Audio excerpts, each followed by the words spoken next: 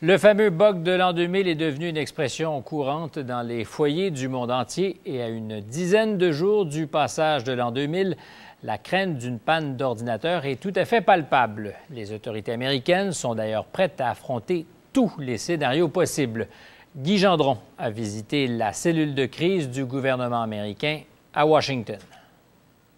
À quelques centaines de mètres de la Maison-Blanche se trouve la cellule de crise mise en place pour gérer la transition à l'an 2000. Approvisionnement alimentaire, production d'énergie, infrastructures essentielles, tous les problèmes sérieux seront rapportés ici, qu'ils soient américains ou canadiens ou planétaires. On y travaille d'ailleurs sur des scénarios allant du terrorisme informatique en Israël aux coupures d'approvisionnement pétrolier en Russie. Mais dans leur cours, les Américains sont confiants d'être prêts. Les grands systèmes, électricité, contrôle aérien, télécommunications, ont été mis à niveau à grands frais. Le géant téléphonique AT&T y a investi à lui seul plus d'un demi-milliard de dollars. Et pourtant, on voit les gouvernements installer leur propre système de télécommunications. Le département du Trésor se doter d'une génératrice et celui de l'énergie mettre ses réserves stratégiques de pétrole à la disposition de l'industrie. Un peu partout, les policiers s'entraînent au contrôle des émeutes. La garde nationale a été mise en alerte et dispose d'un impressionnant arsenal. We have trucks, we have C-130s and Blackhawks and Chinooks and people and shelters and armories and so on.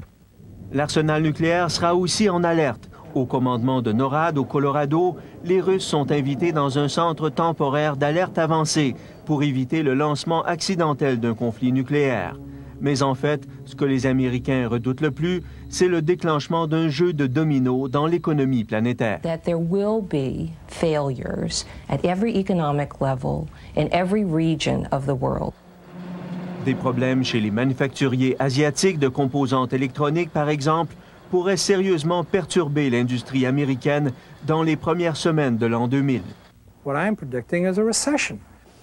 Certains prédisent une récession, d'autant plus qu'un million de petites entreprises américaines n'ont rien fait pour se préparer.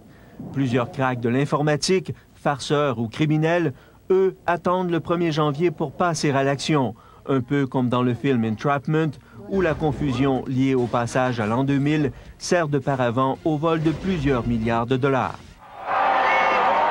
Les célébrations pourraient aussi servir de prétexte à commettre un geste d'éclat terroriste. La grande fête new-yorkaise de Times Square serait une cible de choix, tout comme les festivités qui se préparent au cœur de Washington. Le FBI est d'ailleurs sur les dents dans la capitale américaine, où l'on semble craindre tout autant la bombe que le bug de l'an 2000. Guy Gendron, Radio-Canada, Washington.